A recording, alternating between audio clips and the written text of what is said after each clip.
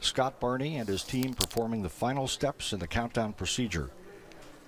You'll hear the team confirm the securing of Atlas liquid oxygen topping, followed by the call to transfer the Atlas and Centaur stages from ground facility power to internal battery power.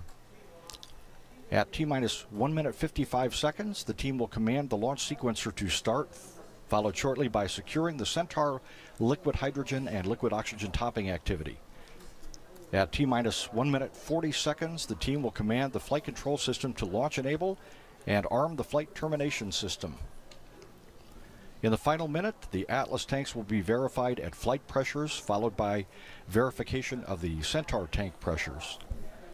And a final status check of Atlas, Centaur, and Cygnus readiness will be conducted at T-minus 25 seconds. Just seconds before liftoff, the RD-180 engine ignites, performs a health check followed by ignition and liftoff. After liftoff, you'll be hearing the voice of Marty Malinowski providing launch vehicle ascent data.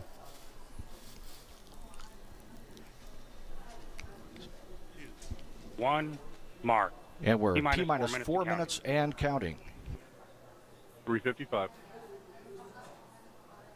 That pilot was enabled.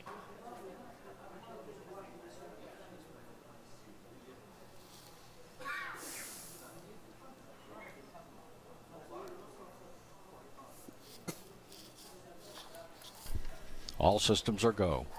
T minus three minutes, 35 seconds and counting.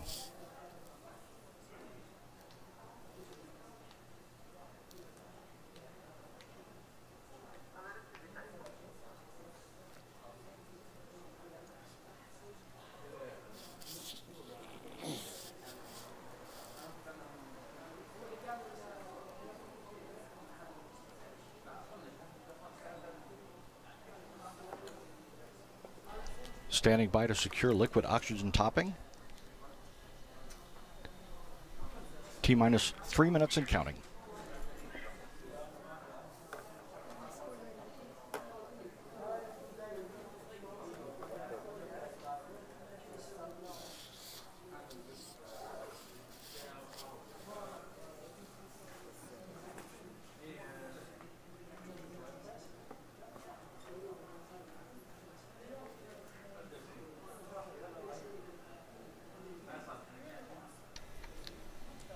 T minus two minutes, 30 seconds and counting. Flight termination system has been transferred to internal. We'll be standing by for the transfer of Atlas power to internal at T minus two minutes, followed immediately afterward by the transfer of Centaur power to internal.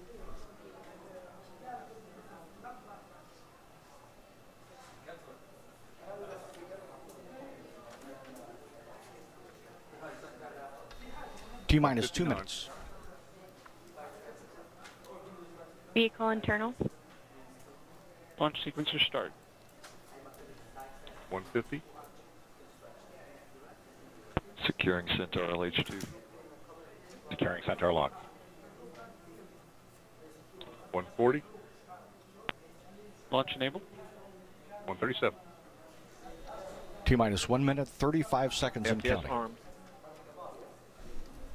Everything going by the timeline.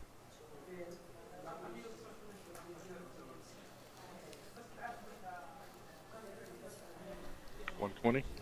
Centaur FCS count started. vent Forces valves to be locked in the launch position at T minus one 110. minute, 10 seconds. Vent valves locked.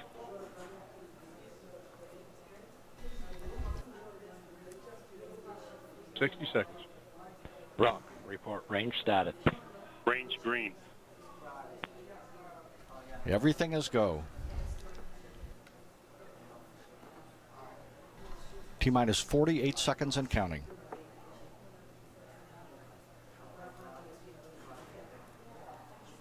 Forty. Stable at step three. Atlas tank stable at step three. T minus 30 seconds and counting. Twenty-five. Status check. Go Atlas. Go Centaur. Go OA4. Twenty. T minus 15, 15. seconds. T minus 10, Ten.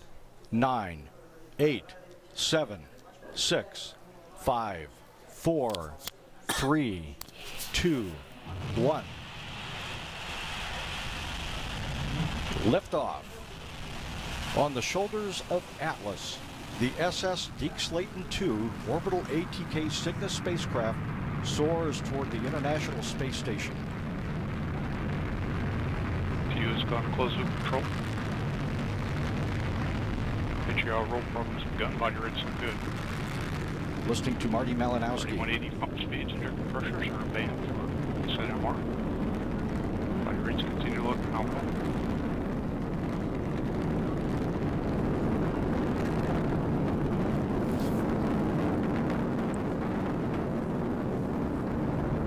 32 seconds into flight. Your rate's climbing somewhat, so controlling well. Already 180. Pump speeds and jerking pressures all look good.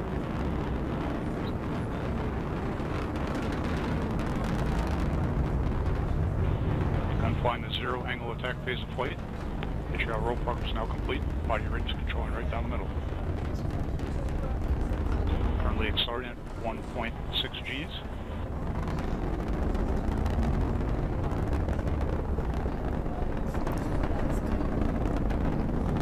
Standing by to pass through Mach 1. Mach 1. And approaching maximum dynamic pressure. continue to look good.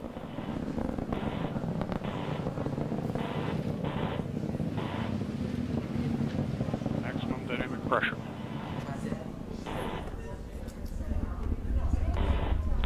Booster has now throttled back right on schedule. Engine response looks good. Current altitude is 10.5 miles. Downrange distance 5.2 miles. Current velocity 1,876 miles per hour. Range track shows the vehicle making good progress right down the middle of the range.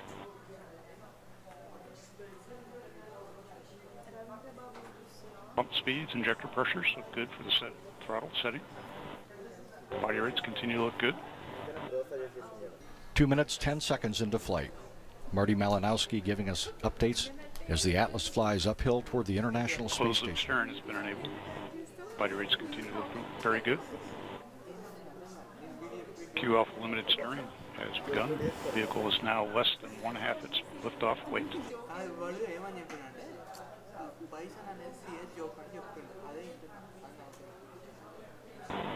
The RCS pyro valve has been fired. That system is now pressurizing the flight levels. Signatures look good. Current altitude is 28 miles. Downrange distance 38 miles. Current velocity 4,285 miles per hour. Coming up on our three and a half G throttle segment. Three minutes into flight.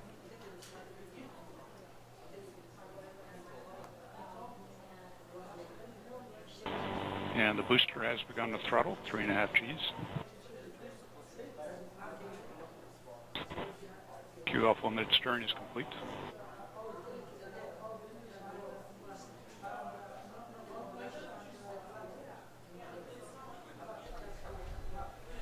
About 45 seconds away from booster engine cutoff. Followed about six seconds later by the Launch second stage now one separation. quarter its liftoff. Coming up on our boost phase cooldown phase.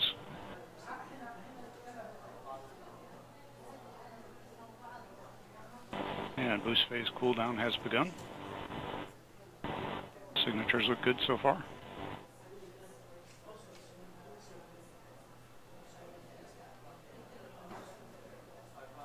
Still throttling to maintain three and a half Gs. Boost phase chill down is complete.